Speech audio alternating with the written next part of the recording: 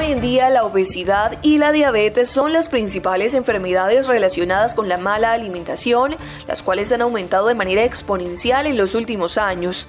El no comer de manera adecuada también causa complicaciones en la salud de las personas y en el peor de los casos, la muerte. De ahí la importancia de llevar una alimentación balanceada. Existen factores predisponentes como tener papá, mamá o abuelo con estas enfermedades, pero en sí lo que se, lo que se hereda son los malos hábitos y las malas costumbres. Un ejemplo, si yo soy eh, hija o nieta de papá, abuelo, con hipertensión y diabetes y soy una, una, persona sedentaria, aparte fumo, tomo, no me alimento bien y no hago eh, actividad física, ¿cuál es mi factor de, eh, de riesgo? Tener estas enfermedades.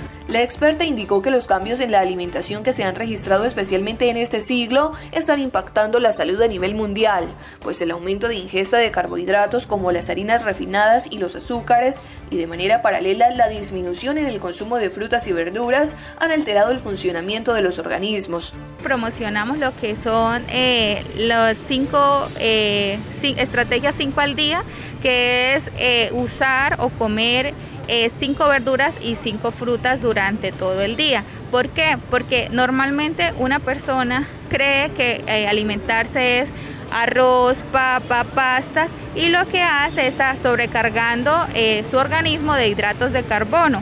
Mientras que si, un ejemplo, tenemos un plato grande, la mitad de ese plato son verduras, un cuarto de ese plato son cereales, es la proteína y son los frijoles, alberjas o lentejas, hacemos que estamos, estamos llevando la cantidad de nutrientes necesarios que necesita el cuerpo. Es común escuchar que comer saludable es costoso, siendo esta una afirmación avalada por el mayor precio de los alimentos procesados considerados como saludables, como los productos light.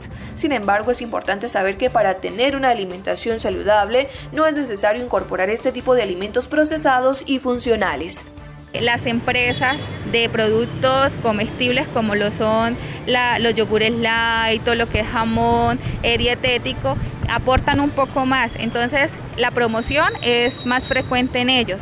Pero si nosotros aquí en la región tenemos eh, la pues la ventaja de tener un mercado con frutas frescas y vamos y hacemos dentro de nuestra canasta, llevamos esas frutas y esas verduras, estamos haciendo más por nuestra salud.